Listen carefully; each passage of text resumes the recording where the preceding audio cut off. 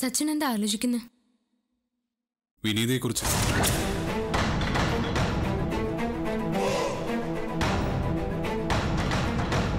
Jennifer അങ്ങനെ പല പേരുകളിലാണ് ജീവിക്കുന്നതെങ്കിലും വിനീത എന്ന പേര് പലരും ചോദിച്ചു. അവളതിന് പല കഥകളും പറഞ്ഞ് വിശ്വസിപ്പിക്കാൻ നോക്കിയെങ്കിലും വിനീതയിൽ ഒരു കഥയുള്ളതുപോലെ. സത്യമുള്ളൊരു കഥ. സച്ചിന് തോന്നതാവും ഏയ് അല്ല. എന്റെ കുഞ്ഞ് അവളുടെ വയറ്റിൽ വളരുന്നു എന്ന് പറഞ്ഞ് പറ്റിച്ച് എന്നെ ചതിക്കാൻ നോക്കി. എത്ര പേർ അവളുടെ ചതിവലയിൽ പെട്ടു എന്നറിയില്ല. ആ ചതികൾക്കൊക്കെ പിന്നിൽ വിനീത് എന്ന പേരാവും അവൾ ഉപയോഗിച്ചിരുന്നത്. ആ പേരിൽ അവൾ ചതിക്കുന്നവളല്ല. വഞ്ചിക്കുന്നവളല്ല സച്ചിൻ. പീഡനങ്ങളേറ്റ് ജീവിതത്തിൽ തോറ്റുപോയവളാ. അല്ല അനുപം എന്താ ആലോചിക്കുന്നത് ഒന്നുമില്ല സച്ചിൻ.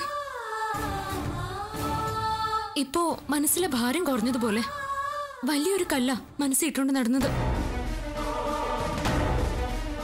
ഇനിയും നമുക്ക് മുന്നിലേക്ക് ജെന്നിഫറിന്റെ കഥകളുമായി വിനീതയുടെ ചതിയുടെ കഥകളുമായി ആളുകൾ ഇനിയും വരാം. ഒരുപക്ഷെ അവർക്ക് പറയാനുണ്ടാവും ആ പേരുകളുടെ പിന്നിൽ ഒളിച്ചിരിക്കുന്ന യഥാർത്ഥ കഥകൾ.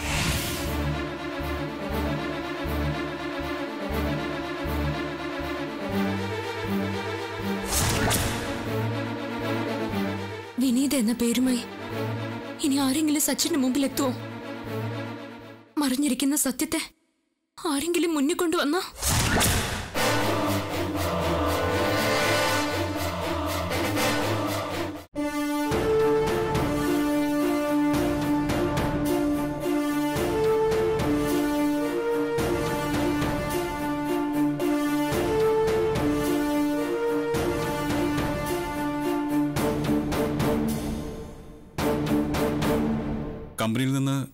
വന്നോ ദീപ്തി വന്നു.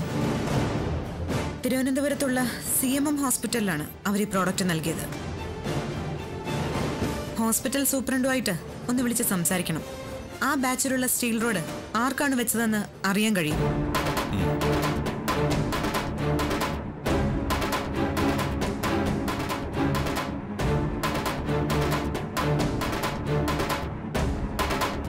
സി എം എം ഹോസ്പിറ്റൽ അല്ലേ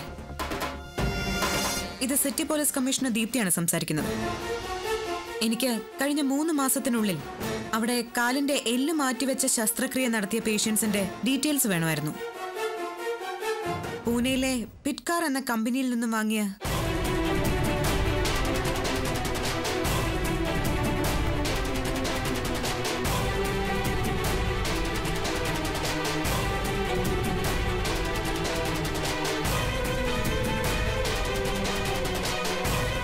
അതെ. സർജറി ചെയ്തവരുടെ ഡീറ്റെയിൽസ് എനിക്ക് പെട്ടെന്ന് തന്നെ വേണം. ഒരു ഇൻവെസ്റ്റിഗേഷന്റെ ഭാഗമായിട്ടാണ് ഞാനിത് ആവശ്യപ്പെടുന്നത്. Okay thank you. Our details പെട്ടെന്ന് തന്നെ അയക്കാമെന്ന് പറഞ്ഞു. കൂടുതൽ തെളിവെടുപ്പോ അന്വേഷണം നടത്താതെ ഒരു ഓഫീസിൽ നിന്ന് തന്നെ താൻ മരണപ്പെട്ട ആളിലേക്ക് എത്തുകയാണ് അല്ലേ ദീപ്തി? ഈ കാലയളവിൽ മിസ്സിംഗ് ആയ പുരുഷന്മാരുടെ കണക്ക് നമ്മുടെ ഡിപ്പാർട്ട്മെന്റിന്റെ കൈവശം ഉണ്ടായിരിക്കുമല്ലോ. അതുകൂടി ഒന്ന് പരിശോധിക്കുന്നത് നല്ലതായിരിക്കും. അതിന്റെ ആവശ്യമില്ല സബർ. സർജറി നടത്തിയ പേഷ്യൻസിന്റെ ഡീറ്റെയിൽസ് ഹോസ്പിറ്റലിൽ നിന്ന് കിട്ടട്ടെ. നമുക്കറിയാൻ പറ്റും ആരാണ് കൊല്ലപ്പെട്ടതെന്ന്.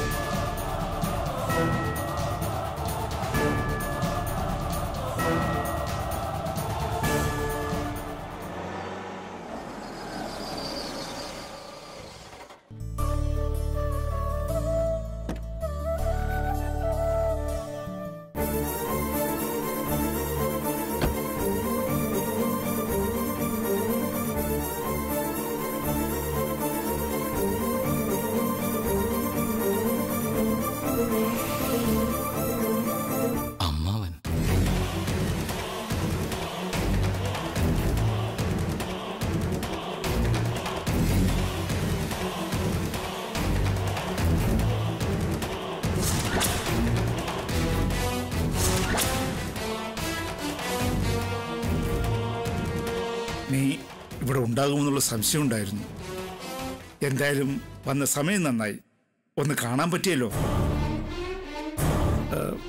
നിന്റെ അമ്മയുണ്ടോ ഇവിടെ? ഇല്ല. അതേതായാലും നന്നായി. പറയാനുള്ളതെല്ലാം ആദ്യം നിന്നോട് പറയാമല്ലോ. ഈ പാവങ്ങളുടെ വീട്ടിലേക്കുള്ള വഴിയൊന്നും അമ്മാവൻ മറന്നിട്ടില്ലല്ലേ? നിന്റെ മനസ്സിൽ നിന്ന് ഞാൻ അന്ന് പറഞ്ഞ വാക്കുകളൊന്നും മാഞ്ഞു പോയിട്ടില്ലല്ലേ? അങ്ങനെ മായു അമ്മാവ.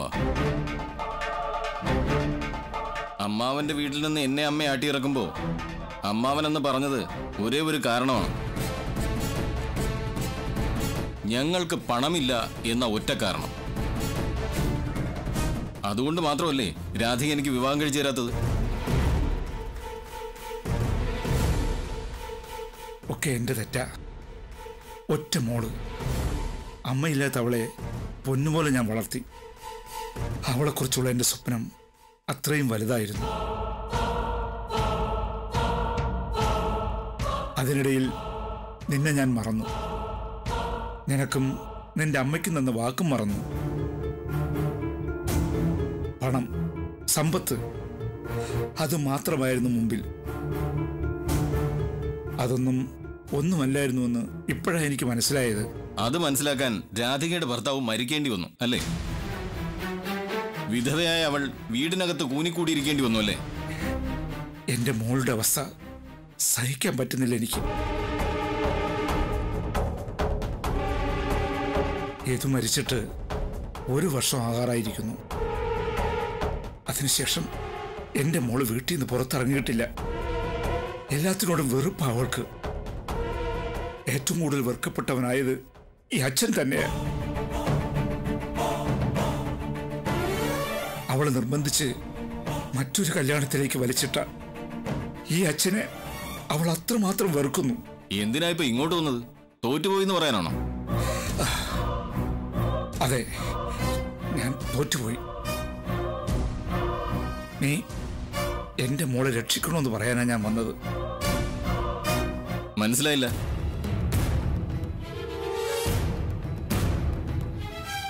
ഏഴാം കൂലിയായ പോലീസുകാരൻ അമ്മാവന്റെ മകളെ എങ്ങനെ രക്ഷിക്കണമെന്നാ പറയുന്നത്? നീ രാധിക വിവാഹം കഴിക്കണം.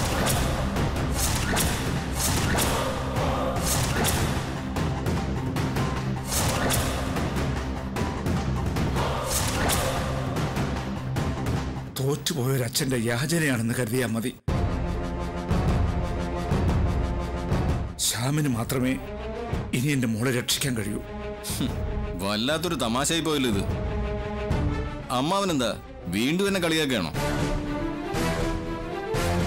അല്ല ശാം അവൾക്കൊരു ജീവിതം വേണം. എത്ര കാലം അവൾ ഇങ്ങനെ കഴിയും? എന്റെ കാലശേഷം അവൾ അവൾ ഒറ്റയ്ക്ക് എനിക്കത് ഓർക്കാൻ കൂടി വയ്യ. അമ്മാവന്റെ കാലശേഷം അവൾ ഒറ്റയ്ക്കാവുന്ന എങ്ങനെ ഇഷ്ടം പോലെ സമ്പത്തുണ്ടല്ലോ അവൾക്ക് കൂടിന് നീ എന്നെ ഇങ്ങനെ പരിഹസിക്കരുത്. എന്റെ വിവാഹം നിശ്ചയിച്ചിരിക്കുകയാണ്. അമ്മാവനത് അറിഞ്ഞു കാണുമല്ലോ. കല്യാണക്കുറി ആദ്യം അമ്മാവനും രാധികയ്ക്കും തരണമെന്നാ അമ്മ പറഞ്ഞിരിക്കുന്നു. അതെനിക്കറിയാം. ഉറപ്പിച്ച എത്രയോ കല്യാണം വേണ്ടെന്ന് വെക്കുന്നില്ലേ അതിന് അതിന് എന്തെങ്കിലും ഒരു കാരണം കണ്ടെത്തുക. അത്രേ ഉള്ളൂ.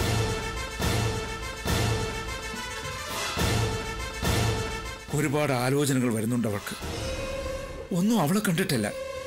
അവളുടെ പണം കണ്ടിട്ട് വരുന്നതാ. പിന്നെ ഇനിയൊരു വിവാഹം വേണ്ടെന്ന് അവളും ശാഠ്യം പിടിക്കുന്നു. എനിക്കറിയാം അവളുടെ മനസ്സിൽ നീ ഇപ്പോഴും ഉണ്ട്. അവളെ നീ വിവാഹം കഴിക്കുമെന്ന് പറഞ്ഞാൽ അവൾ സമ്മതിക്കും. എനിക്കറിയാം നിന്റെ മനസ്സിൽ അവൾ ഉണ്ടെന്ന്. അങ്ങനെ എളുപ്പം നിനക്ക് അവളെ മറക്കാൻ പറ്റില്ലെന്നും അറിയാം. നീ മറ്റൊരു പെണ്ണിന്റെ കഴുത്തിൽ താൽ കെട്ടി കഴിഞ്ഞാൽ പിന്നെ പറഞ്ഞിട്ട് കാര്യമില്ല. അതുകൊണ്ടാ ഇപ്പോഴേ ഞാൻ വന്നത്. മനസ്സുകൊണ്ട് ആ പെൺകുട്ടി എന്റെ അമ്മയുടെ മരുമകളായി കഴിഞ്ഞു. അവളും കാണുന്നുണ്ടാവില്ലേ സ്വപ്നങ്ങൾ? സ്വപ്നങ്ങൾ? പോകാൻ പറയടാ. അച്ഛനും അമ്മയും ഇല്ല. ഒരു തരി സ്വർണം വാങ്ങാനുള്ള ഗതിയും ഇല്ല. അങ്ങനെ ഒഴുത്തിയ നിനക്ക് വേണോടാ. പിന്നെ നിശ്ചയിച്ച വിവാഹത്തിൽ നിന്ന് പിന്മാറിയാൽ അവളുടെ ആൾക്കാർ പ്രശ്നം ഉണ്ടാക്കില്ലേ എന്നൊന്നും നീ ഭയക്കണ്ട. എനിക്കറിയാം. അവൾക്ക് ചോദിക്കാനും പറയാനൊന്നും ആരുമില്ല. ഒരു പ്രശ്നം ഉണ്ടാകാൻ പോകുന്നില്ല ശ്യാം. എനിക്കറിയാം. നീ ഒരു തീരുമാനവും ഒറ്റയ്ക്കെടുക്കില്ല എന്ന്. ഓക്കെ നിന്റെ അമ്മയോട് ചോദിച്ചല്ലേ ചെയ്യൂ. ഇതും അമ്മയോട് ചോദിക്കണം. നിന്റെ അമ്മ എന്നോടുള്ള വാശികാരൻ ആദ്യം ഒന്നും സമ്മതിക്കില്ല. നീ പറഞ്ഞ് സമ്മതിപ്പിക്കണം. പെട്ടെന്ന് തന്നെ എനിക്കൊരു മറുപടി കിട്ടണം. അത് എന്റെ മോളെ കെട്ടാൻ നിനക്ക് സമ്മതമാണ് എന്ന മറുപടിയായിരിക്കുമെന്ന് ഞാൻ വിശ്വസിക്കുന്നു.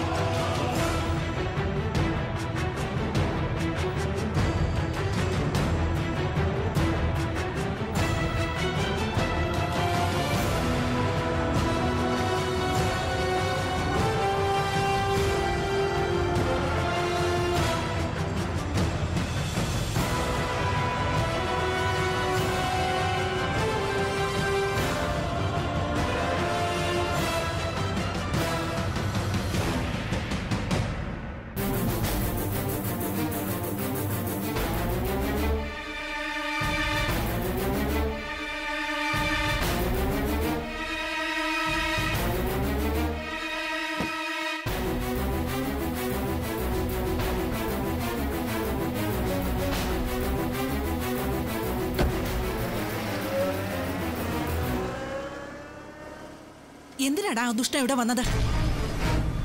എന്തിനാ വന്നതെന്ന്? നീ എന്താ ഒന്നും മിണ്ടാത്തെ? അമ്മാവൻ വന്നത് ഞാൻ രാധിയെ വിവാഹം കഴിക്കണമെന്ന് പറയാനാ.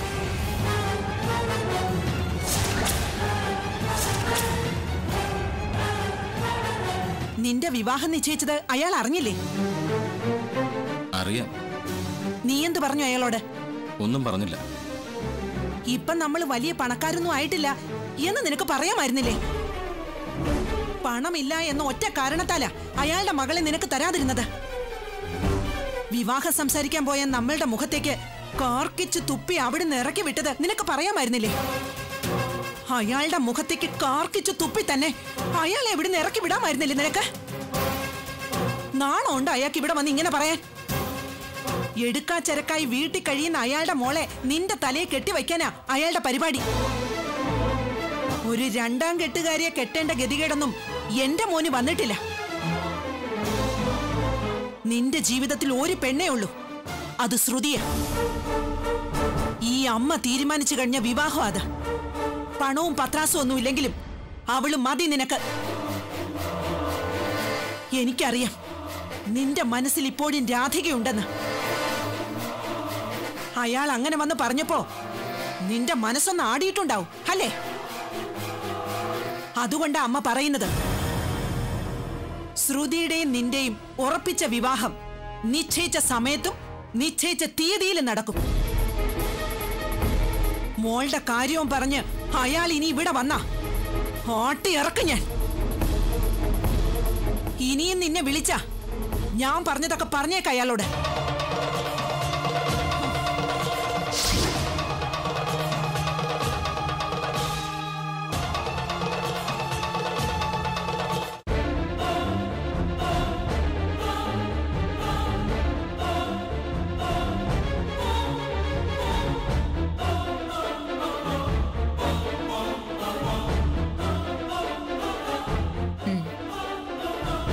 ഹോസ്പിറ്റലിൽ നിന്ന് ഡീറ്റെയിൽസ് കിട്ടിയോ?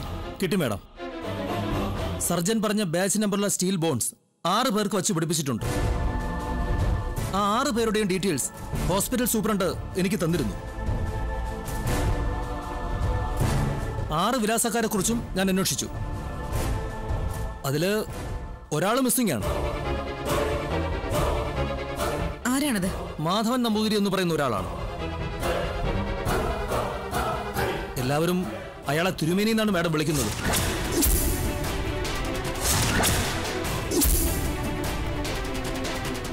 തിരുമേനി? അതെ.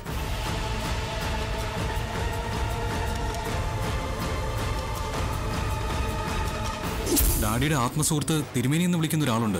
ജെനിഫറിന് മുമ്പ് ഡാഡിയുടെ പി ആയിരുന്നു അദ്ദേഹം.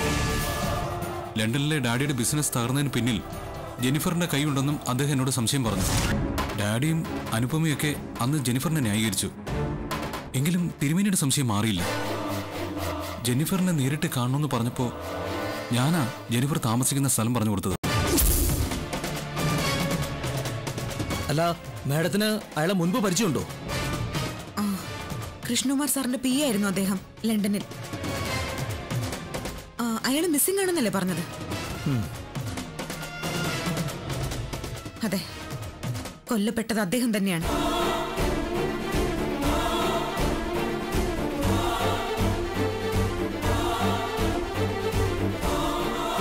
കാറിൽ കത്തിക്കരിഞ്ഞ നിലയിൽ കണ്ടെത്തിയ ബോഡി തിരുമേനിയുടേത് തന്നെയെന്ന് സ്ഥിരീകരിക്കുവാൻ ഈ കൃത്രിമ സ്റ്റീൽ റോഡ് മാത്രം മതി.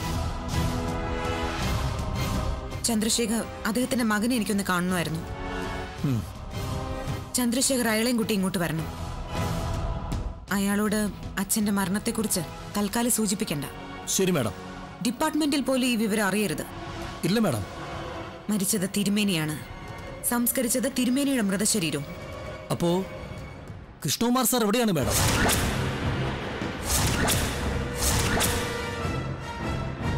അതെ. കൃഷ്ണകുമാർ എവിടെയാണ്?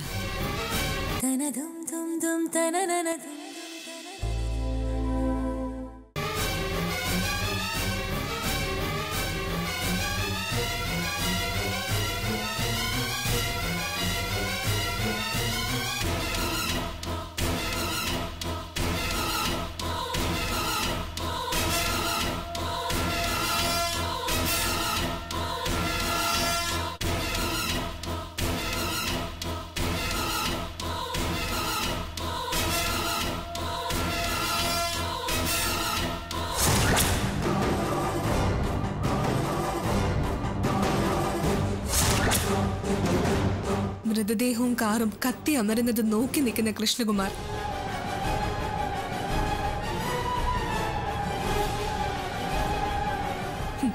ഞാൻ ഈ രംഗം ഷൂട്ട് ചെയ്തത് പാവം അറിഞ്ഞിട്ടില്ല. ഈയൊരു വീഡിയോ മതി. തിരുമേനിയെ കൊന്ന് ചുട്ടരിച്ചത് കൃഷ്ണകുമാർ സാറാണെന്ന് തെളിയാൻ.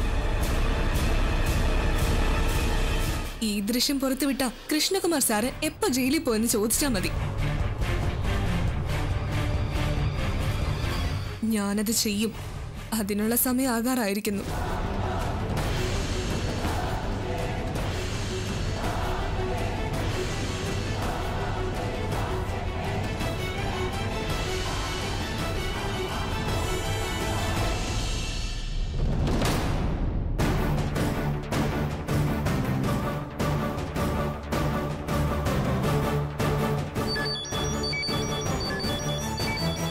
சார் உங்களோட போன் அடிக்குது சார் வந்து எடுங்க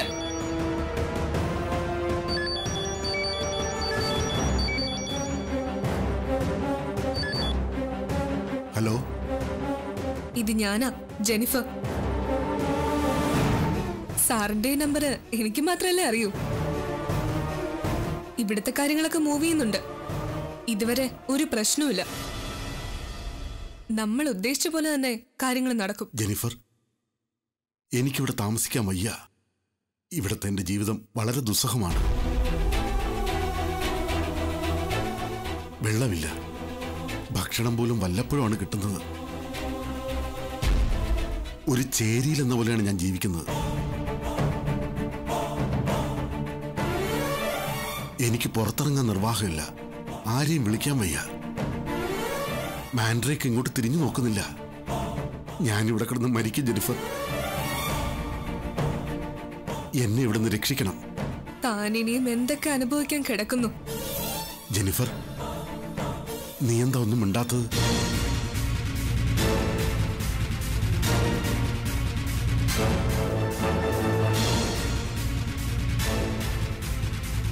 കൃഷ്ണകുമാർ സാറിന്റെ മരണത്തിന് പിന്നിൽ ജെന്നിഫറിന്റെ റോൾ എന്താണെന്ന് ഞാൻ കണ്ടുപിടിച്ചിരിക്കും ശ്രുതിയെയും വീണയും കുറിച്ച് പറഞ്ഞ കാര്യങ്ങൾ എന്നെ വല്ലാതെ വിഷമിപ്പിച്ചു. ഒന്നുമില്ലെങ്കിൽ എന്റെ സഹോദരിമാരല്ലേ?